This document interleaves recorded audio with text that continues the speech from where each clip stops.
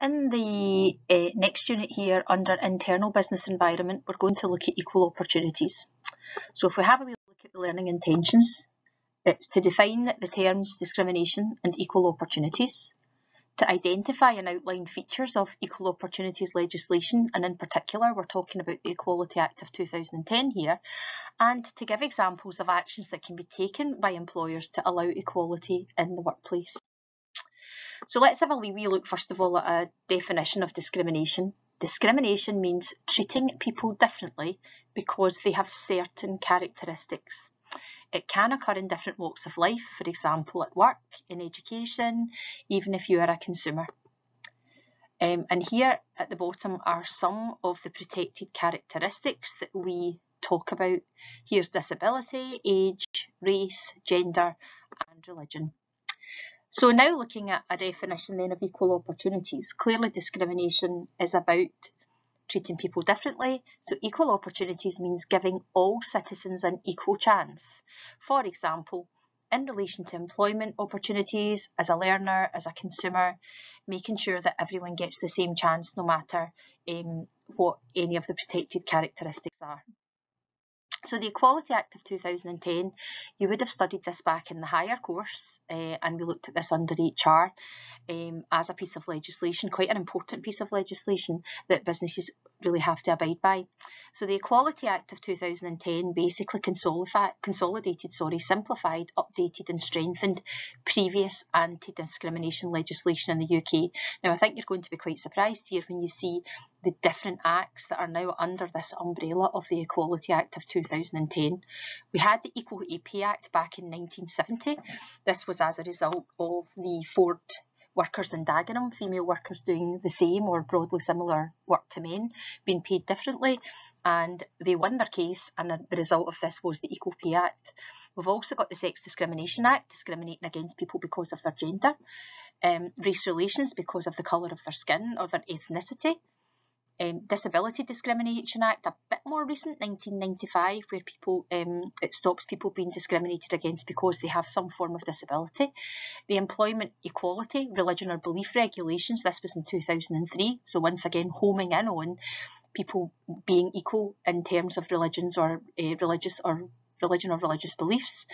The uh, Sexual Orientation Regulations of 2003, because we have um, a number of different uh, genders uh, nowadays, then we have to be careful that we are not discriminating against people because of their sexual orientation. Um, the Employment Equality Age Regulations can't discriminate against someone because uh, of the, the, age that they are. Tends to be uh, towards older members of the public discriminating against people because because they're not going to get a job because of their age or they're only be able to do certain work because of their age. So this is what this legislation brought about equality in that front and it, the Equality Act obviously had been updated as well as this being updated as well with sexual orientation. These acts are changing all the time because life is changing all the time and it's really important that the Equality Act is constantly updated to uh, uh, adhere to these. So who's protected from discrimination then? Under the Equality Act, it's unlawful to discriminate against a person with protected characteristics. Now, some of these protected characteristics we saw in a slide before, but here is a wee list of some of them. Gender, whether it's male or female. Uh, for example, marital status, for example, married or single. Age, uh, discriminating against someone because they're perhaps too young or someone because they're too old. Disability, is it a physical disability is it a learning disability? Race, it could be your colour, uh, the colour of your skin, it could be your ethnic origin, religious beliefs or, or perhaps a lack of belief. Pregnancy and maternity, people being discriminated against because they're pregnant or because they are actually uh, on maternity leave. And these are all different protected characteristics. So different types of discrimination now. You've got direct discrimination um, and an example of this would be an advert asking for a young, motivated woman discriminates against men and older people. So that's direct discrimination. You're literally just putting it out there. Discrimination by association, an employee being refused promotion because it might be they're a carer for a disabled, a disabled parent. So the discrimination is not necessarily against them, but discriminating against them because of someone they are associated with.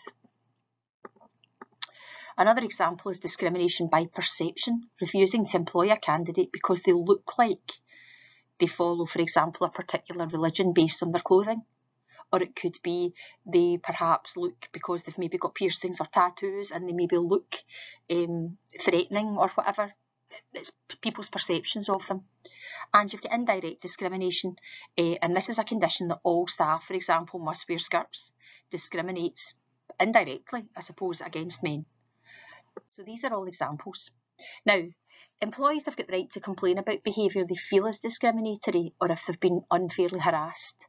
So harassment is where um, there maybe are jokes, jokes are being told, negative stereotyping, hostile acts or thoughtless comments. You know, for example, saying to a woman, what are you doing at work? You should be in the kitchen or something like that.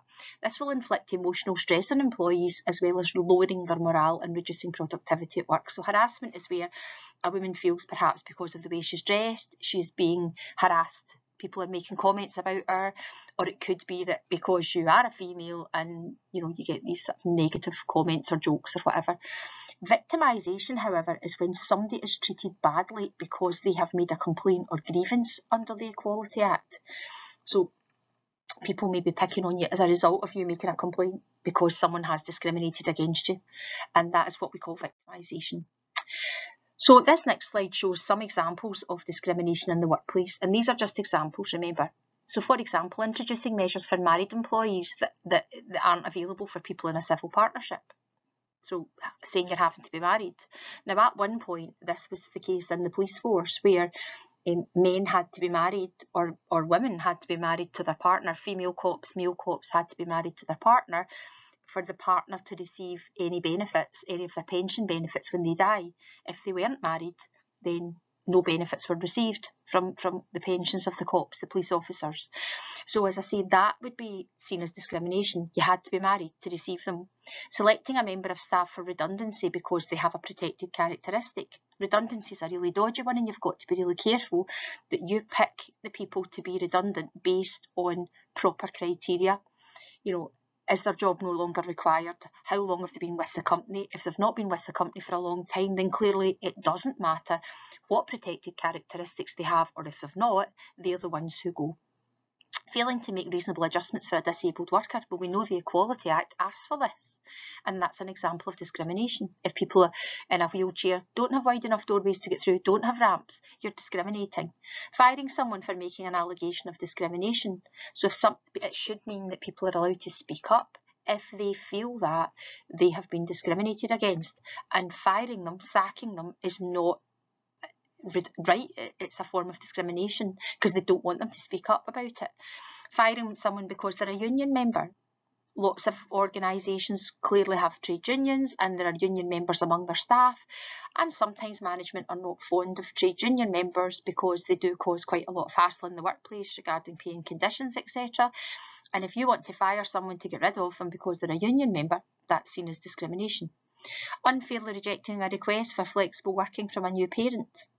So if the conditions fit, if everything else fit, the job can be done, there's someone to perhaps job share with, you can do the work at home, away from the office, then there is absolutely no reason why you should be rejected for flexible working, and that's discrimination if you are.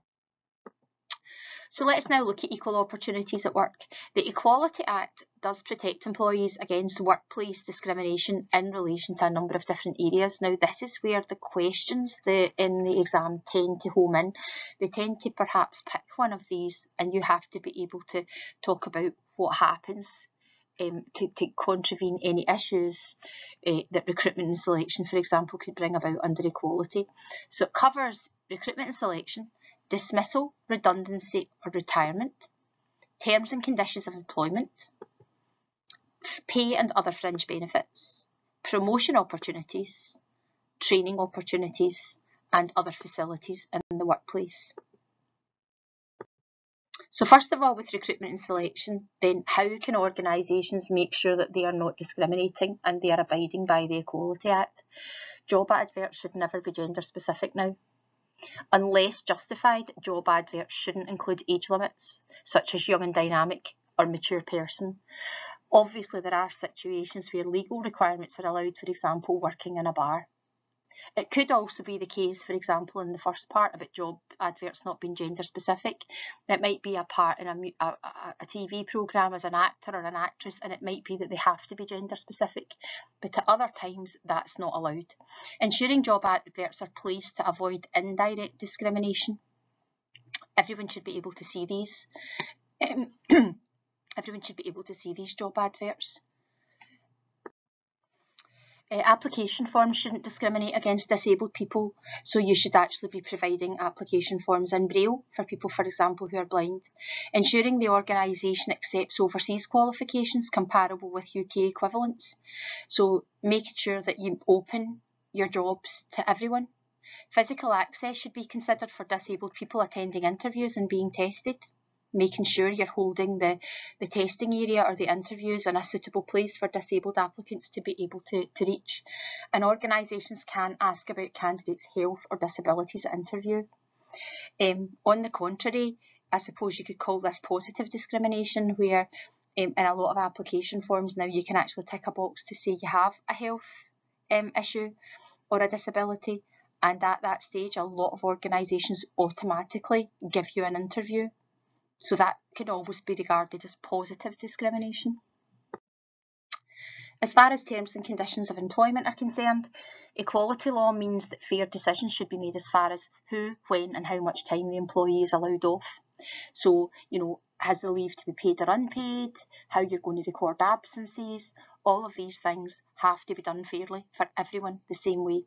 Procedures should be in place regarding flexible working requests to avoid discrimination complaints. So you have to make sure that that once again is done fairly as well and you don't pick on certain people and not give them the flexible working for a particular protected characteristic. Time off and adjustments should be made so that a disabled person can work without barriers. So it may be that a disabled person perhaps has to attend a hospital or physio or whatever it happens to be. They should be allowed to do that. You must give leave for gender reassignment. Pregnancy related absence must be given. A lot of appointments have to be attended, scans, etc., and they have to be given automatically. Communication should be made regularly with absent employees so, they know what to expect when they return, so they're not coming back kind of cold turkey. You also have to be careful that you're not communicating with them as though you're trying to force them to come back to work. You're doing it as a kind of caring, kind of keeping them up to date type um, situation and phased return periods should allow absent employees to settle back into work. So you should be allowed to um, maybe come back on a part-time basis for a certain length of time to get yourself back into the groove. As far as pay and benefits are concerned, businesses must make sure criteria for awarding payment doesn't discriminate against people based on their protected characteristics.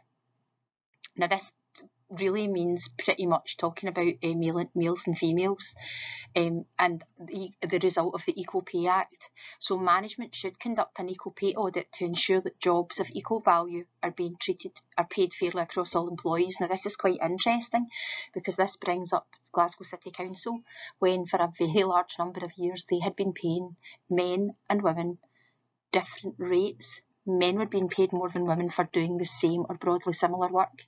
And a few years ago, maybe three or four years ago, Glasgow City Council ended up having to pay a serious amount of compensation to these employees for the number of years, female employees, I have to say, for the number of years they've been underpaid.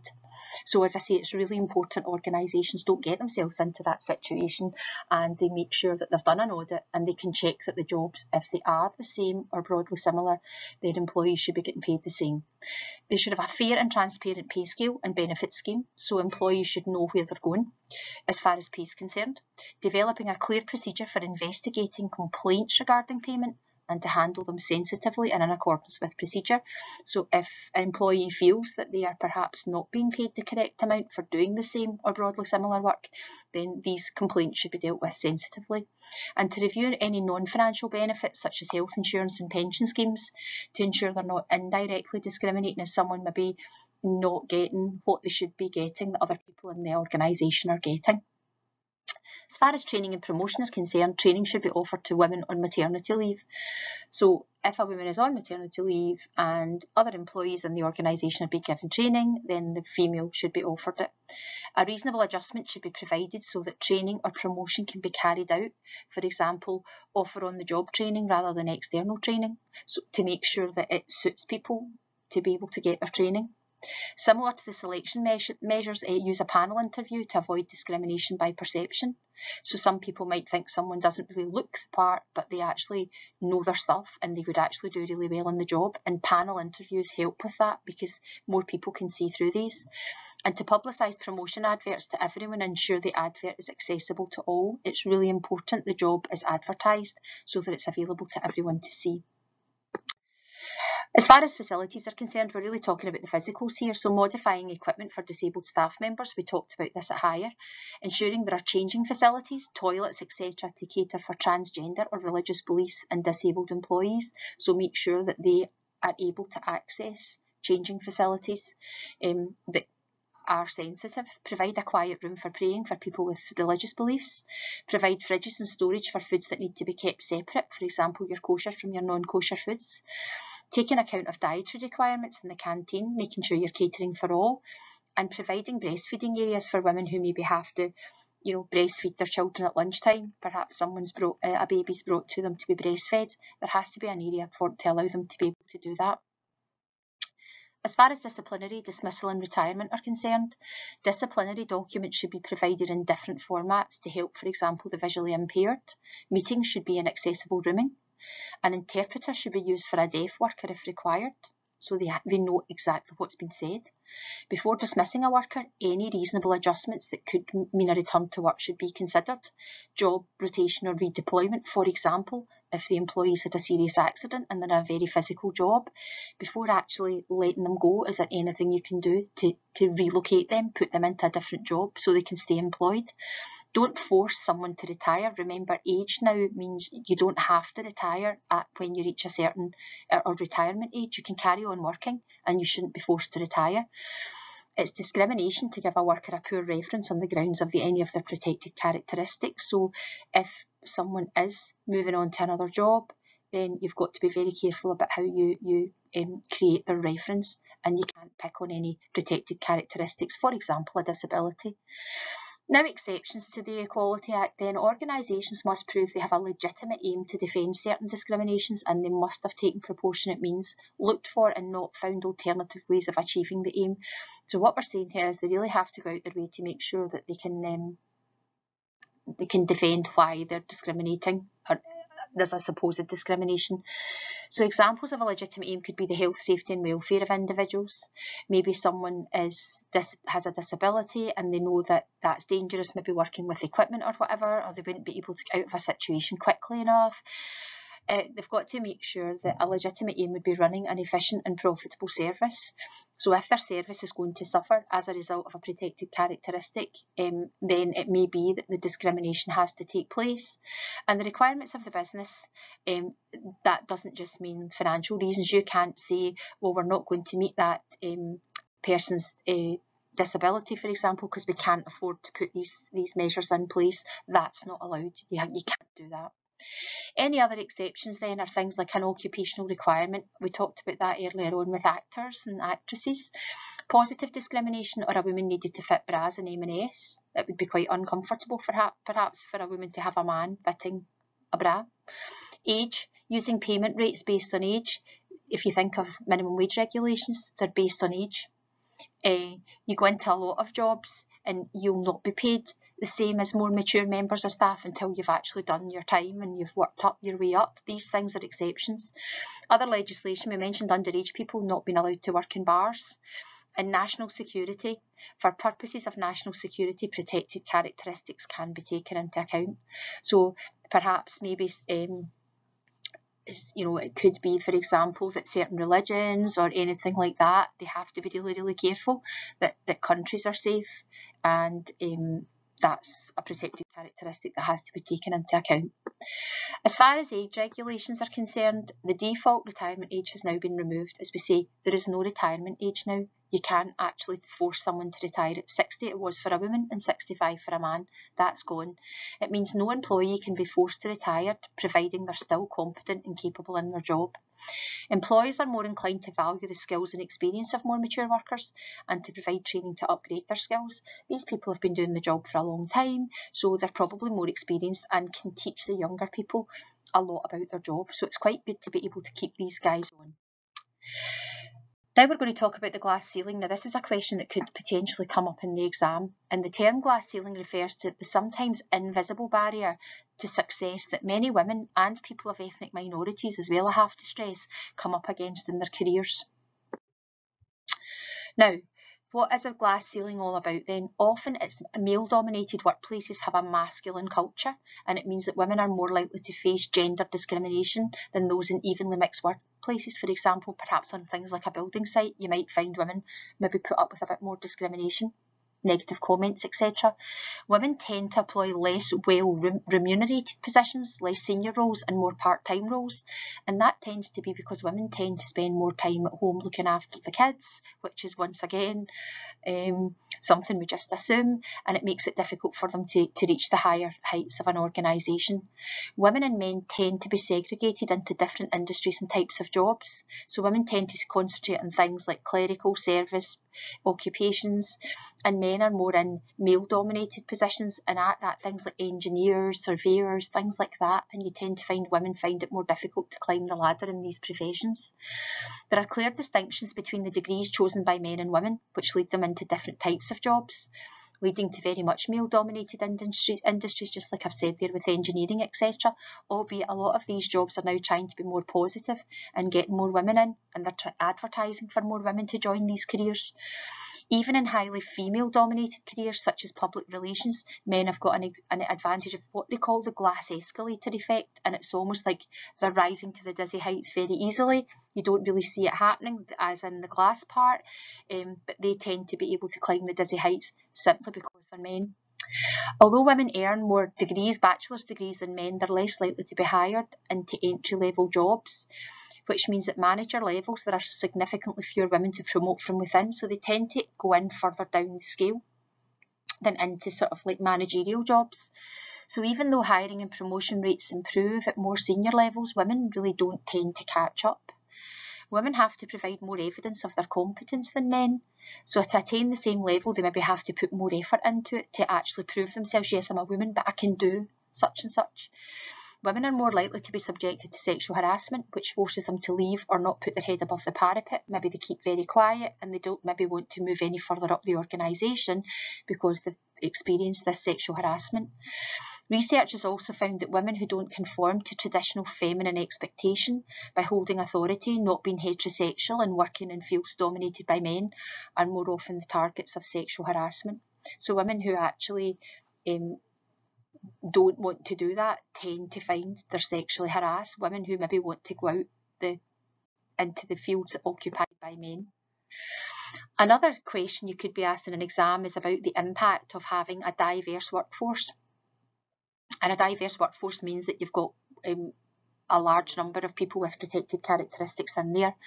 An organisation should see an increase in creativity as every individual brings their own personal way of thinking and it leads to better decision making. An organisation known for its ethics or fair employment practices or appreciation for diverse talent is better able to attract much more and a wider pool of qualified candidates. By ensuring diversity is evident in all levels of the hierarchy, um, it might be that you actually gain recognition from independent organisations that you might deal with on a daily or weekly basis. Customers can relate to workers with similar backgrounds, culture, etc., and it can achieve like better trust or customer satisfaction. Utilising employees' understanding of cultural nuances can minimise barriers to growth overseas. So, being able to, if you do employ people from different cultural backgrounds, it makes it easier for you to go multinational and move into different countries with ease. Allowing employees insight to other cultures should lead to increased tolerance, mutual respect, and better working relationships and you'll find if you do that, there's reduced conflict and reduced complaints. A multi-generational working environment offers employees the opportunity, as we said earlier on, to learn from each other and become a more flexible workforce. People who've been in the organisation for a long time, they may be older, but they've got a lot of experience that they can share. And management may need to provide training and educate employees, which is actually costly, and that's a negative impact, which is on the top of this page here. That shouldn't be on the last page. Other organisations may choose only to do business with companies who embrace diversity. So um, it puts pressure on companies to change very quickly or they know they're not going to get any business there might be a difficulty in transitioning or changing. It's very, very difficult to change people's ways of working and their beliefs, etc. And that can um, be really, really hard. So it can cause a barrier. And as cultures collide, there might be a misinterpretation of meanings. What somebody might might find funny to one culture may be disrespectful to another. So it could be like all the, the original old jokes about Irish people not having really having brains then that can be really disrespectful to people who are Irish. um, and having issues like that in the workplace can be quite difficult. So these things can cause problems. Um, and this last uh, slide here is really just a past paper question. Um, one potential past paper question the class will have been given many more on different ones, explaining the steps an organisation might take to minimise the threat of prosecution under the Equality Act. And to be honest with you, those slides earlier on under training and promotion, facilities, dismissal, all of those things would be under this. Thank you very much.